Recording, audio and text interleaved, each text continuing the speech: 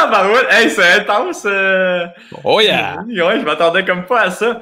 Hey, euh, salut MVP Rudge! Euh, Hey, ça va, mon boy? esti? Man, ça va super bien. Je suis content de te parler aujourd'hui. Ah oui, longtemps, nous aussi, esti. Puis, Yeah. euh, écoute, il y avait une raison pourquoi on ne s'est pas parlé depuis longtemps, c'est que tu as upgrade le, le podcast.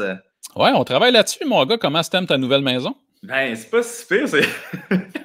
L'entrée était surprenante, je vais te le dire, en tout cas de mon côté, parce que t'as disparu, puis là, ça a parti, puis j'étais comme, what the fuck? C'est quoi qui se passe? Ouais, mais Ouais, ouais. sinon, hey, ça look, hein, check ça, man. Il y a même nos, euh, nos, euh, man. nos réseaux sociaux.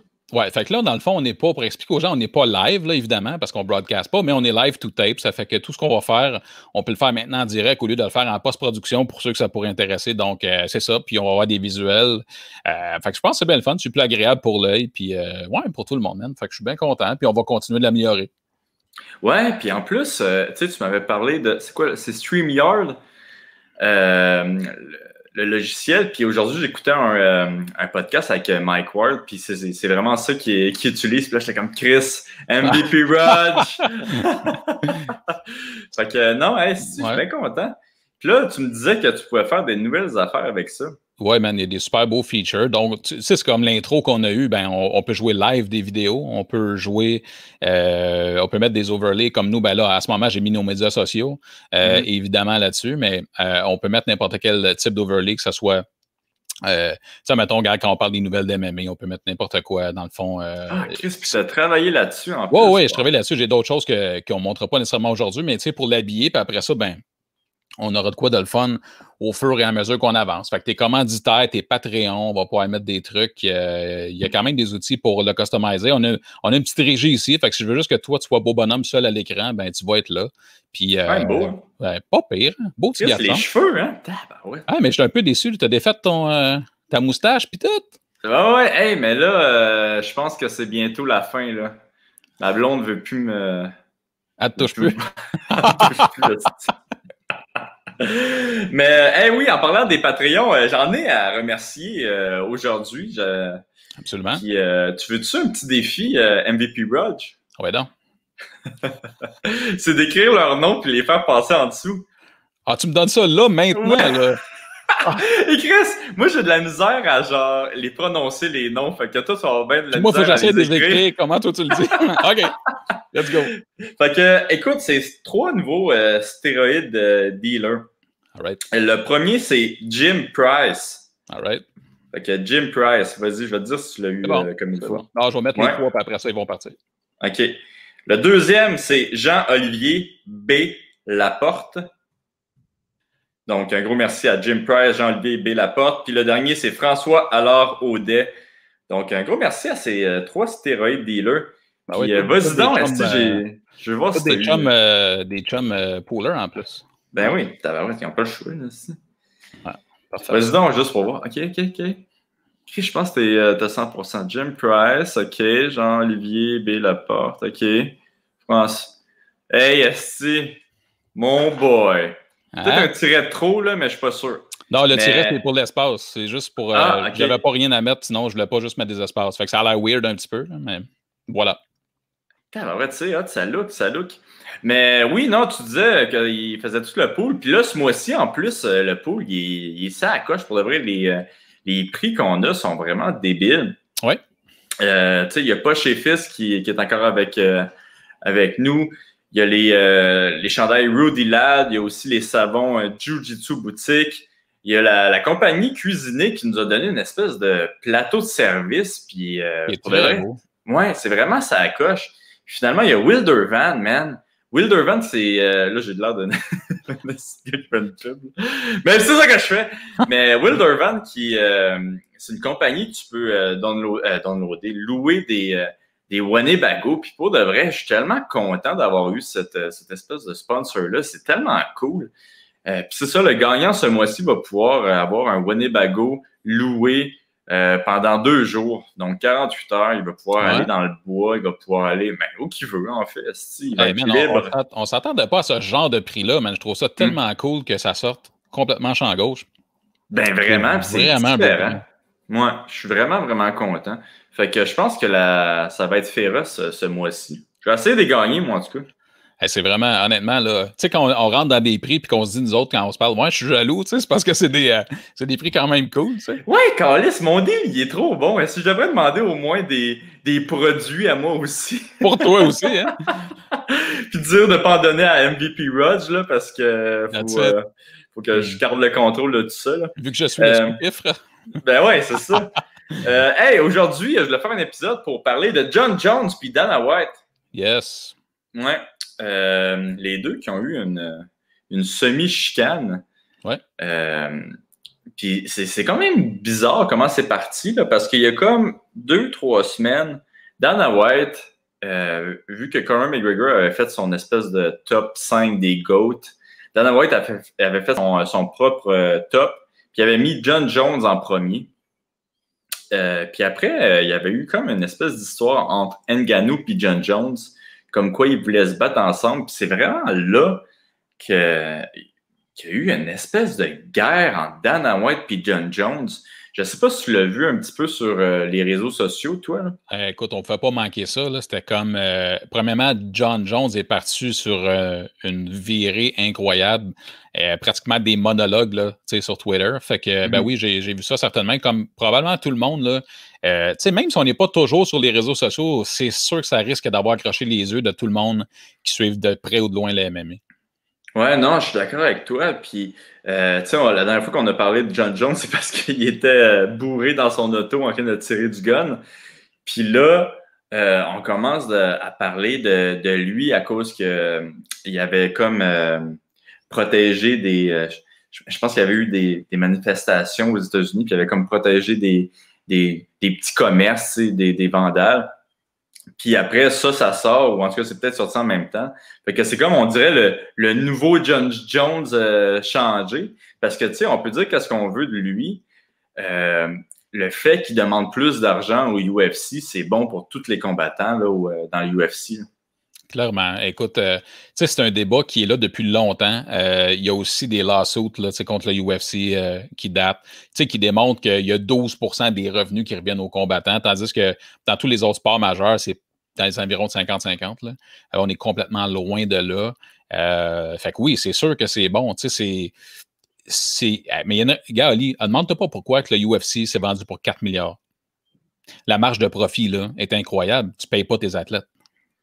Ouais, non, tu as, tout à fait raison. Puis tu sais, c'est pas. Euh, c'est pas avec du monde comme moi ou comme Jan Johnson qui, se plaignent de leur, de leur paye que quelque chose va changer. C'est vraiment quand il y a des champions qui, qui, qui vont en parler que, ça va peut-être aller dans la bonne direction. Puis là, hey, Chris, ça vient de me faire flasher. Euh, hey, oui, je, vais peut-être péter une semi-coche, OK? Es-tu prête? Qu'est-ce qui se passe? Euh, en fin de semaine, il y avait euh, le UFC de Gilbert Burns contre Woodley. Puis euh, il y avait Pat Côté, euh, puis JP qui, euh, qui faisaient les commentateurs. Peut-être ça, je les aime bien. Là, ils me font bien rire. JP, il me fait bien rire avec son Mayday, Mayday. Là. Ouais. Mais d'autres, pendant ce combat-là de Woodley contre Gilbert Burns, c'était non-stop du bashing sur Woodley. Comment c'était une merde, genre, puis comment il faisait rien, puis comment il aurait jamais dû demander plus d'argent euh, au UFC s'il donnait des performances comme ça. Puis tu sais, on dirait que c'est vraiment de la. on dirait que Pat, là, puis JP Chartrand, il était vraiment en colère contre Woodley, là, du fait qu'il ait dit un jour que c'était lui le meilleur ou qu'il ait dit qu'il voulait avoir plus, qu'il voulait être mieux payé. Mais tabarouette, quand t'es champion du monde, c'est sûr que tu vas dire ces deux affaires-là. C'est obligé, tu sais, exactement. Tu sais, mais en même temps, moi, je l'écoutais pas en français, puis c'est toi qui m'avais partagé ça, où c'était pratiquement de l'acharnement. Puis aussi. moi, ma tête, elle explosé. Mais aussi, de ce que tu me disais, par exemple, ce qui est vraiment plate, c'est qu'en même temps, il n'encensait pas vraiment Burns. Non, c'est ça. Tu sais, je veux dire, tu peux, tu peux pas, écoute, tu peux pas ne pas donner euh, ce qui revient. C'était incroyable son combat. Puis s'il parlait réellement que de Woodley pour des points négatifs, etc., ça enlève le positif que Burns vient juste de, mm-hmm. de montrer une performance qu'on s'attendait définitivement pas euh, à ce niveau-là. Mais euh, ouais, je sais que tu n'étais pas super content. Là, moi, je, moi, je capotais parce que, tu sais, un round, OK, si, euh, il en parle. D'autres, pendant cinq rounds, tu sais, c'était comme... Il parlait pas juste de ça, il donnait quand même un petit peu de crédit à, à Burn, mais tu sais, c'était comme disproportionnel, là, ça faisait comme pas de sens. Puis, tu sais, le combat, là, c'était pas un mauvais combat, là. Moi, j'ai quand même bien aimé. Ça n'a pas gagné genre un bonus en plus, ce combat-là? Ou... Non, non. Non? Pas à ma connaissance. Mais, en fait, euh, moi, je ne sais pas pour toi, mais moi, je l'ai vraiment aimé le combat euh, de un parce que j'avais mes petites unités sur Burns, mais aussi parce que euh, je, savais que c'était prenable pour lui, mais sais, pas à ce niveau-là. C'était vraiment, man, c'était vraiment de toute beauté. Fait que, est-ce que, est-ce que moi, je l'ai trouvé bon parce que c'est une performance, encore une fois, qui, c'est complètement différent. Mais tu sais, quand Gaethje a montré ce qu'il est capable de faire contre Ferguson, tu fais OK, tabarouette, OK, il est capable de faire ça. Tu fais que là, on a eu Gilbert Burns qui nous a montré quelque chose de similaire dans le sens où Hey man, là, tu peux pas dire que je suis un grappler, dude, là, je suis complet. C'est vraiment ce qu'on a vu. Euh, mais tu sais, sinon, euh, je sais pas, est-ce que je suis impartial, toi, c'est-tu comme ça que tu l'as vu, puis pour ça que tu l'as trouvé bon, ou c'est, tu sais?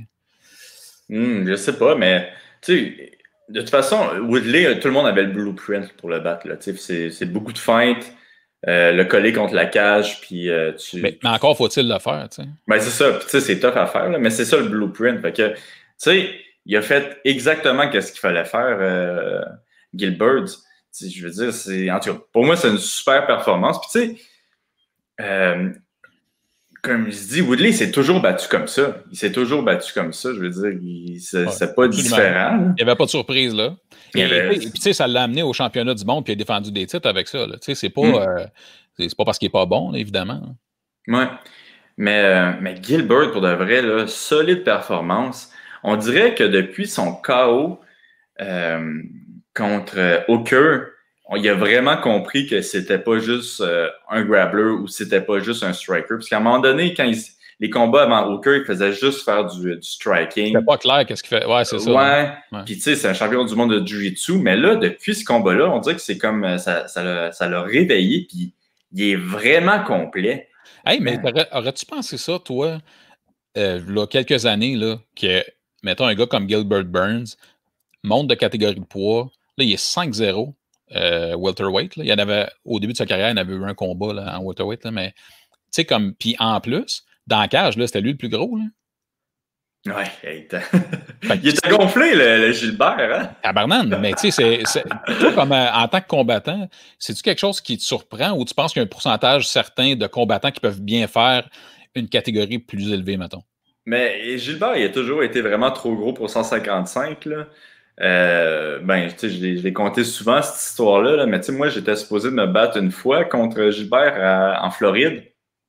Puis le combat avait été annulé euh, une semaine avant euh, que je me batte avec. Là. Au fond, quand nous, on était arrivés sur place en Floride, ils, nous pèsent. Donc, ils pèsent les combattants. OK, tu pèses combien, Olivier? Ah, je, pèse, je pèse 179. je suis en Waterloo, Waterloo c'est ça? puis quand Gilbert est arrivé, il était tellement gros qu'ils ont décidé, les, docteurs ont décidé que c'était trop dangereux pour faire la perte de poids puis que le combat était cancellé. Tu ah, moi, Je me rappelais pas de cette histoire-là, moi. Ouais. moi, j'étais en train de faire mes, mes petites courses, tu sais, à, l'épicerie pour, euh, je sais pas, manger pendant la semaine des petites portions. J'ai reçu mon appel. Ouais, euh, Olivier, euh, ton combat est cancellé. le gars, il, les docteurs veulent pas qu'ils fassent le poids, tu sais. Je peux te dire que j'avais acheté des, euh, du stock pour faire des hamburgers cette journée-là? C'est clair. Puis tu sais, tu ne dois pas être de bonne humeur parce que veux, veux pas, tu te bats pas. Ça t'aide pas bien bien à remplir le compte de banque non plus en plus. Là. Ben non, écoute, j'étais en tabarouette, mais tu sais, c'est aussi le fait que tu as fait un, un camp d'entraînement. Attends, je vais tasser ça. Euh, un camp d'entraînement complet. Puis euh, euh, non seulement ça, c'est que, tu sais, moi, j'avais payé euh, le billet de mes coachs, j'avais payé. Euh, cette, fois-là, je m'étais. Il y avait le coach de Conor McGregor, que son nom m'échappe. C'est quoi ça? Ryan Cabana. Ouais. Cabana qui, avait, qui m'avait trouvé une maison. ah ouais? Il m'avait trouvé une maison en Floride pour que moi et mes coachs habitent là. Fait que j'avais pas payé l'hôtel pour la première fois de ma vie. Fait que ça va vraiment bien tomber, là. Mais Cabana m'avait trouvé une, un hôtel euh, pas un hôtel, une maison euh, privée, tu sais. Euh, fait que, au moins, il n'y avait pas cette dépense-là. Mais il a, il a fallu que je paye mes, quand même le, billet d'avion de mes coachs. Euh, le UFC, par contre, Sean Shelby m'avait appelé le lendemain pour dire hey, on va pas être capable de trouver euh, personne. Ils t'ont-tu donné ton show money, quelque chose? Ils n'ont pas donné mon show money, mais ils m'avaient donné 10 000 euh, Fait que, tu sais, c'est pas. Euh, Avais-tu payé tes frais au moins? Euh? Ouais, ça avait payé mes frais. J'avais payé, mes frais, puis tu sais, j'avais euh, quand même gardé un petit peu d'argent pour moi. Puis il m'avait trouvé peut-être un mois et demi plus tard Donham. En fait, il m'avait proposé de me battre une semaine après contre Darius. puis c'est le combat que Darius s'est fait knocker contre Hernandez. Donc, euh, j'étais supposé être euh, à ce combat-là, ça était supposé être moi, mais j'avais dit non parce que j'avais euh, déjà perdu trop de poids. Puis je voulais pas que mon poids fasse ça. Puis, tu sais, j'avais comme peur d'avoir des, des problèmes à refaire mon poids la, semaine d'après ou avoir des problèmes aussi à la tête. Là. Ça, me ah, pas, faire un Tony Ferguson, là, Ben, écoute, yes, MVP Rush, exactement ça que je voulais pas faire. Mais. Ah, ben ouais, je suis allé loin. Comment on parlait de ça?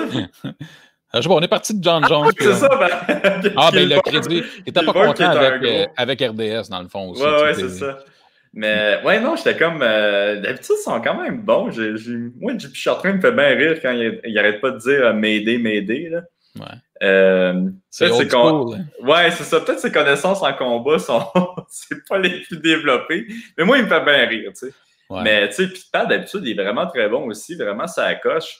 Mais on dirait vraiment qu'il y avait, les deux avaient une haine, euh, genre vraiment contre Woodley. On dirait qu'ils ont dû euh, parier contre lui dans les derniers combats. ça n'a pas bien été. ça n'a pas bien été. non, mais moi, j'écoutais du côté américain, puis tu sais, je trouvais qu'il euh, donnait le crédit au bon endroit, puis même à la limite, il défendait le fait que, écoute, c'est comme tu disais, Woodley, c'est ce qu'il apporte c'est ça qu'il fait. Puis garde, mm. Gilbert Burns l'a juste exécuté son plan, puis that's it, là, ça a bien été. Fait que je trouvais ça correct. Fait que j'avais été même surpris euh, quand tu m'as dit ça. Euh, que comment ça se passait à RDS puis tout, ben, ça m'a comme un peu débarqué de ma chaise parce que oui, je peux comprendre que tu peux dire ben OK, à un moment donné, euh, c'est pas son meilleur combat, mais c'est ça qu'il donne. Puis deuxièmement, puis ça faisait un bout que c'était pas battu aussi, mais c'est genre de pas donner le crédit parce que tu devrais juste mettre la lumière sur Burns. C'est juste ça que je veux dire. Ouais, c'est ça. Si l'autre fait rien, ok, tu peux le, tu peux le dire. Là. mais là, à, le bâcher. C'est intense. sur, sa, paye, puis sur qu'est-ce qu'il a dit dans le passé. Mais c'est arrivé aussi. j'ai plein de flashs aussi pendant ce podcast-là.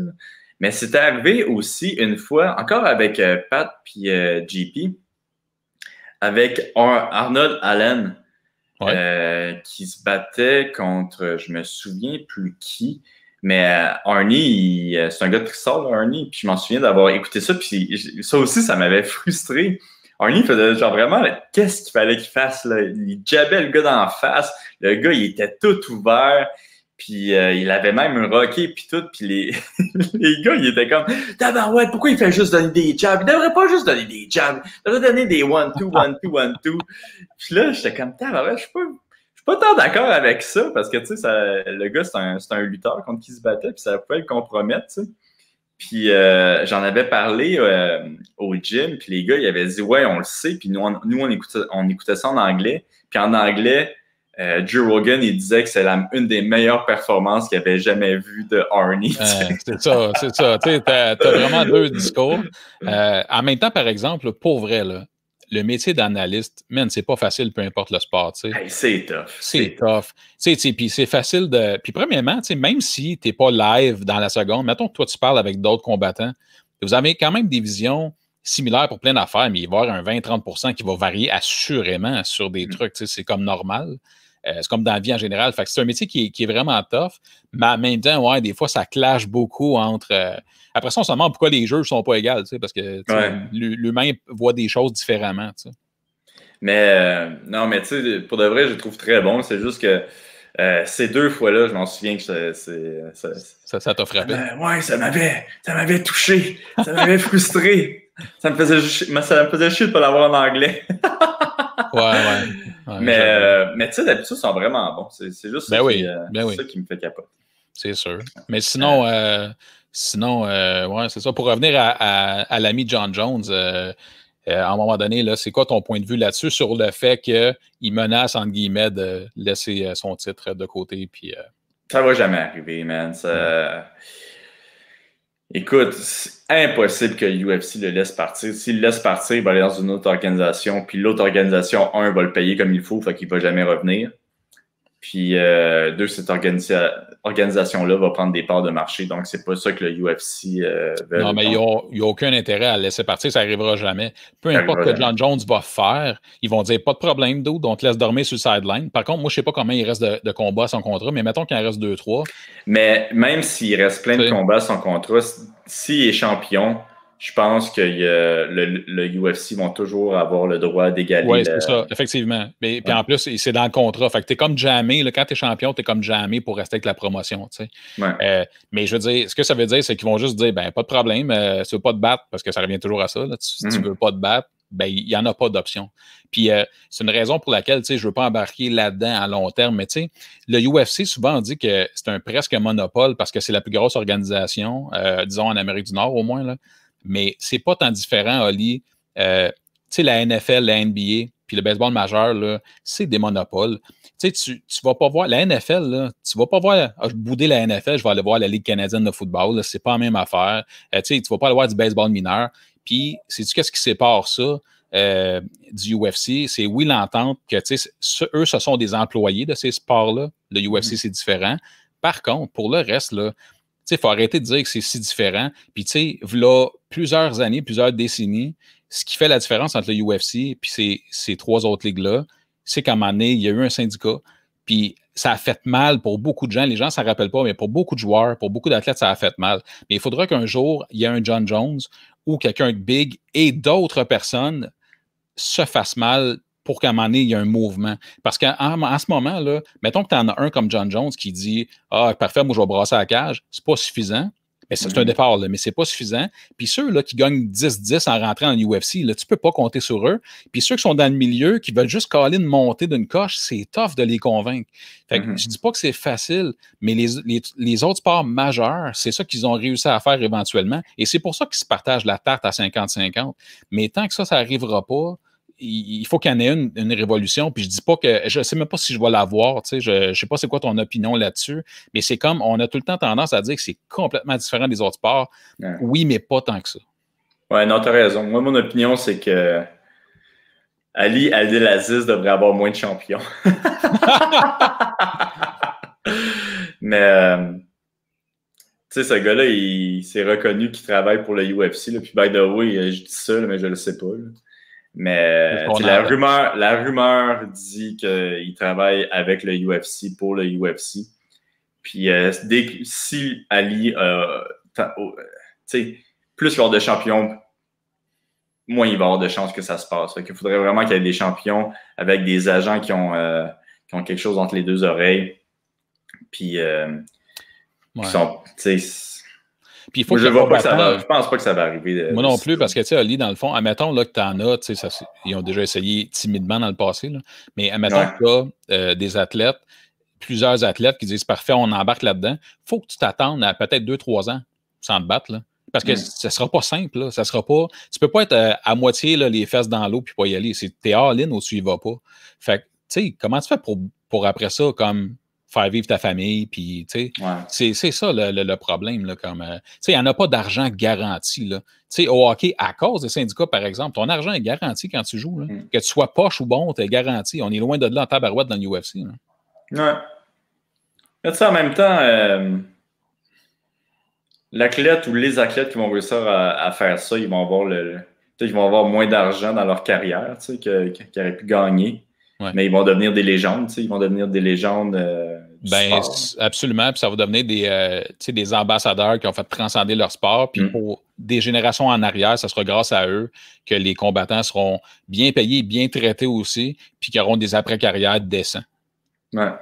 Mm. Ils vont peut-être pas être sur le Hall of Fame. Hey, ça, c'est une autre affaire. Juste un aparté sur la Hall of Fame qui me fait super rire, Oli. là. C'est, euh, tu sais, il y a plusieurs divisions là, dans la Hall Ouais. of Fame. là. T'as, t'as les pionniers, tu sais, puis euh, là, t'as l'ère moderne, tu sais. Ouais. Puis il y a aussi la catégorie ami de Dana White, qui est Matt Serra tout seul. parce, que, parce que je comprends pas. Je l'adore. J'adore Matt Serra, là, mais je comprends pas ce qu'il fait là, tu sais. Mais en tout cas, ça me fait rire. Ouais. Ça, c'est ma vision Hey. à moi, là, tu sais. Mais euh, il est reconnu pour avoir lan- landé un punch. Un, un gros punch, par exemple.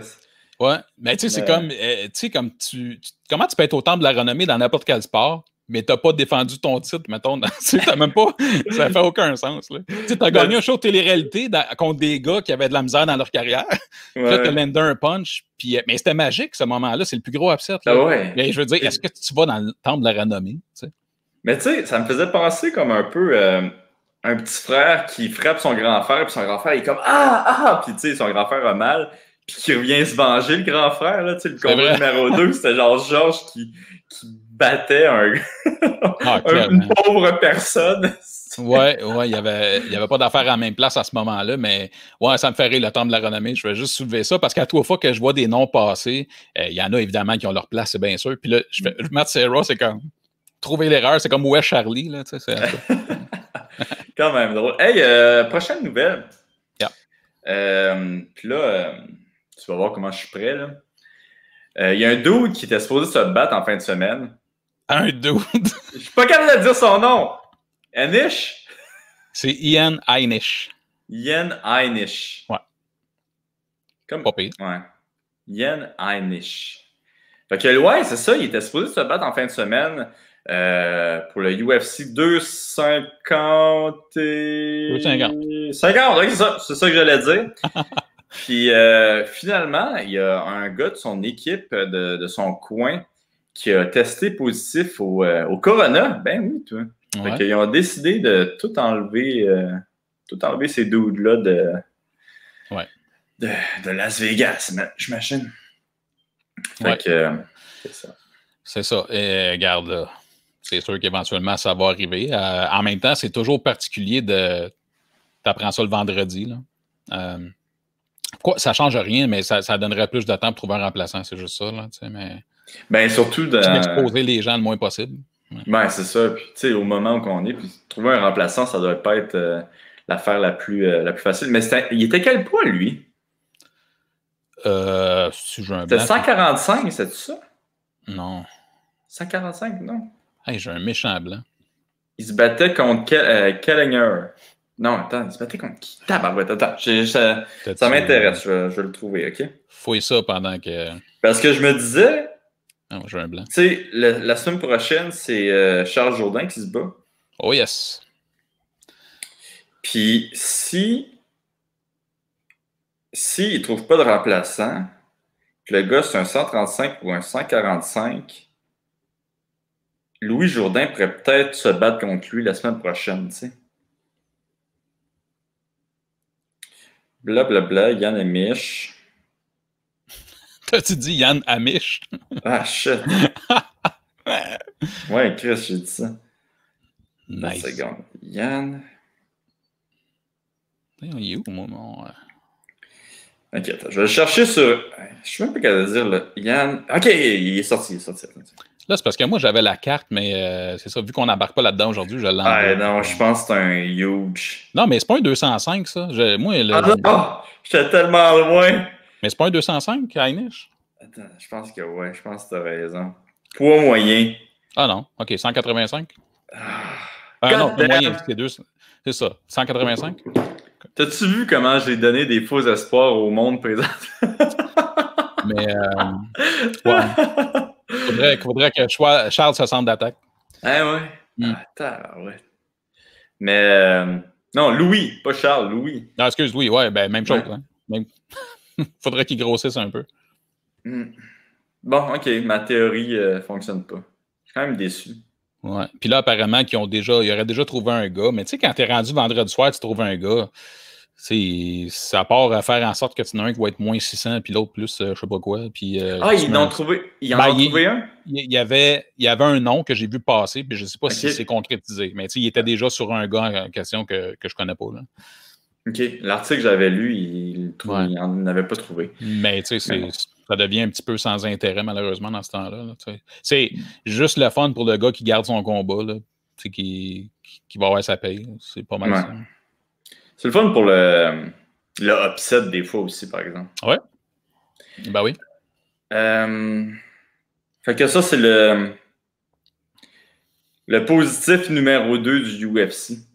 Hey, euh, la rumeur dit que c'est le 27 juillet que, que le UFC va aller sur leur île.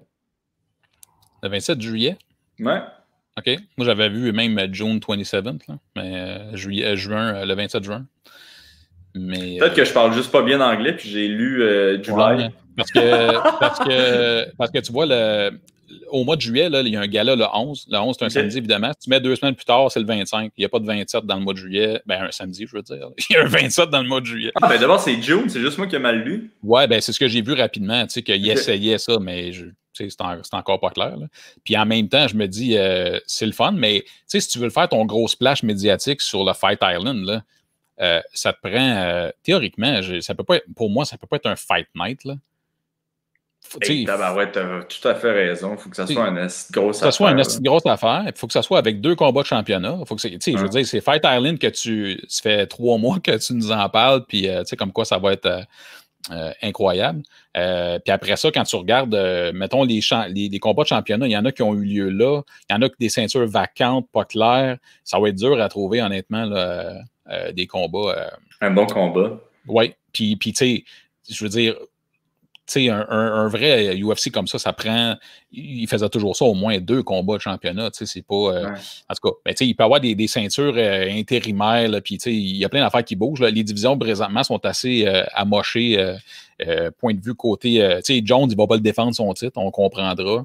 Après mm-hmm. ça, tu as le 125-135 qui est là, tu sais, les 135 vont avoir des super bons combats en fin de semaine, mais après ça, ben, après ça, Yann et Aldo sont déjà planifiés pour, euh, pour se battre. Euh, fait qu'eux autres, euh, je sais pas qu'est-ce qu'ils vont pouvoir faire. Puis si c'est un Fight Night pour commencer, il me semble que c'est mou un petit peu. Ouais, j'avoue que ça serait. ça serait push un peu là, que mettre un Fight Night. Mais bon. OK, hey, je pense qu'on a couvert les sujets que je voulais couvrir aujourd'hui. Ça fait le tour. Ça fait le tour. Merci beaucoup, Rog, MVP Rog, d'avoir fait ce beau. Un plaisir, mon chum. Ce beau setup. Putain, c'est beau. Veux-tu remettre le nom des Patreons en dessous ou tu les as effacés? Ouais, voir que, voir que j'effacerai ça. Ah, yes. Hein? Puis euh, c'est ça. Si vous n'êtes pas déjà allé, nous autres, on n'est pas du genre à faire de la pub, mais le Patreon, il est là. Ah! Tabarouette. Patreon slash Canadien Gangster. Ça, euh, c'est pour s'inscrire sur Patreon, Rog? Tu... Patreon.com slash Canadian Gangster, exactement. OK, OK. Hey, merci de l'info. Euh. tu sais, des fois, j'oublie, là, c'est plat. Ah, et puis aussi, avant qu'on finisse, là, euh, on le dit, là, mais rapidement, mais samedi, ça fait un an qu'on fait le pool ensemble, puis il y a un prix euh, pour le, le pool, Tu sais, sans rentrer dans les détails. Fait que si tu veux l'expliquer un petit peu, ben. Ah, ben oui, ben non, je vais le dire tout de suite, le prix. My God. Moi, dis-moi, j'étais supposé faire une vidéo pour, euh, pour demain, mais je vais le dire tout de suite. donc, le prix, celui qui va gagner le, pour le UFC 250, je m'en souviens, euh, il va gagner une, casquette signée par Charles et Louis Jourdain. Euh, donc, euh, ça va être juste pour cet événement-là. donc, celui qui a plus de points pour le UFC 250 va gagner ça. puis, il va quand même avoir les autres prix que vous pouvez aller voir sur ma page Facebook là, à la fin du mois. Mais le UFC 250 va avoir un prix juste pour cet événement-là. là, on se croise les doigts parce que la dernière fois qu'on a fait ça, ça a mal été pour notre fighter. Fait que là, là ça, on change la tendance cette semaine. Ben, pour son combat. ah ouais, les deux fois! Moi, là, j'ai. Ah on avait fait un autre avant? C'était Kevin Oui, les deux fois, les deux fois. C'était quoi l'autre fois? C'était Nasrat. J'avais fait ah, des, oui. des casquettes par Nasrat. La deuxième fois, c'était Motown Phenom. Kevin Lee. les deux ont perdu. Non, ouais, si, faut pas que je. Charles va gagner. Charles va gagner. Ouais, Charles, faut qu'il. Faut qu'il euh, Il passe ah, une bonne séquence là, pour euh, les cadeaux comme ça. Là. Si, c'est une malédiction. Hey, Chris, j'ai quasiment le goût de pas la faire gagner. ah, ok, on va la faire gagner quand même, là, mais. C'est clair. Faudrait qu'il. Ah. Ah, il va, il va briser la malédiction. Il va briser la malédiction. C'est là que ça C'est un combat difficile aussi, par exemple. Vraiment. Ben, vraiment, mais regarde, son, son dernier combat, c'était pas un facile non plus. Là. Ouais, ouais, c'est vrai. C'est vrai. Fait que, euh, ouais, ouais. On, on, va être en arrêt de lui, puis on va regarder ça aller. Yes. OK, cool. Thank you, mon chum. Ciao, mon gars.